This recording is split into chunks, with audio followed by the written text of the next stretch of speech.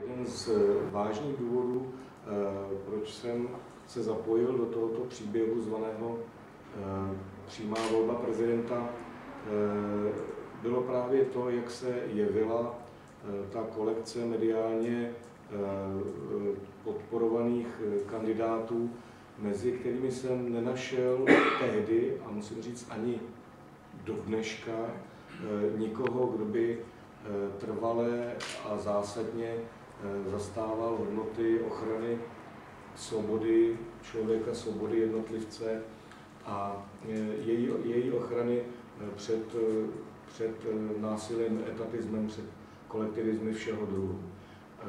A já jsem přesvědčen, že tento typ názorů by v kampani prezidentské zaznít měl, jinak by nezazněl a jsem přesvědčen, že ve veřejnosti je významná skupina lidí, kteří by si přáli, aby takový typ názorů byl přítomen v té veřejné debatě, v tom veřejném prostoru, aby mezi kandidáty měli někoho takového, kdo hlásí věci, kterým oni věří a které jim jsou blízké. Přestože jsem se tady představil jako člověk celkem průhledný a s názory dlouhodobě známými, tak vám teď při této příležitosti teď přečtu v osmi bodech takové schrnutí ideových východisek všech mých názorů, ať už je potom aplikuju na jakékoliv aktuální témata nebo, nebo problémy. A tyto body já vám teď přečtu. Za prvé jsem proti násilným kolektivismům potlačujícím svobodu a vážnost jednotlivce.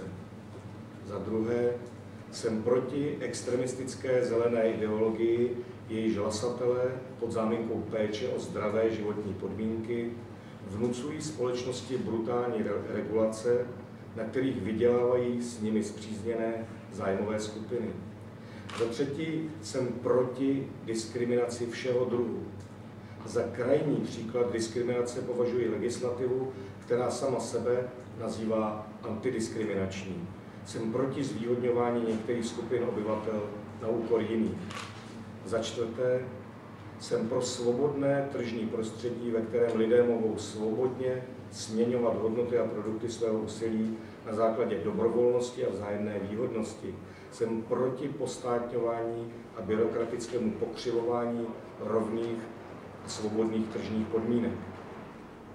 Za páté, jsem proti tomu, aby se státní mašinérie používala jako nástroj prosazení vizí sociálního inženýrství proti vůli lidí. Za šesté, jsem proti ostrakizaci menšinových názorů a pokusu je zcela vytlačit z veřejného prostoru, šikanovat je, zakazovat a trestat. Jsem proti monopolizaci veřejného prostoru ve prospěch teroru politické korektnosti. Za sedmé, jsem proti bezhlavému prosazování módních společenských trendů za cenu mrzačení tradičních a osvědčených hodnot. A za osmé, demokracie je možná jen v rámci demokratického státu, nikoli v rámci mezinárodní organizace. Jsem proti nahrazování demokratických mechanismů nástroji mezinárodního nátlaku a násilné unifikace.